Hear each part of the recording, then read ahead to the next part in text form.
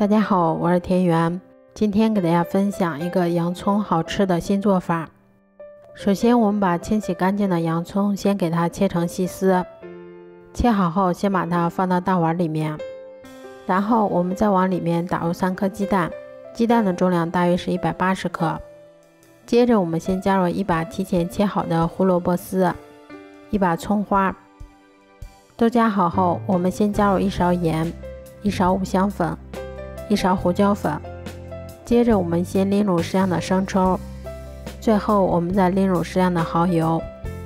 都加好后，我们用筷子先把它们充分搅拌均匀。搅匀后，我们再少量多次的加入大约一百五十克的普通面粉，然后用筷子把它们一直搅拌成像这种稍微有些粘稠的菜糊就可以啦。菜糊调好后，我们把电饼铛先预热刷油，然后再把我们调好的菜糊倒入到电饼铛里面。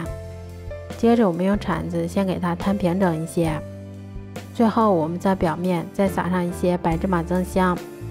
全程用中小火慢烙，最后一直烙至两面金黄后就可以出锅啦。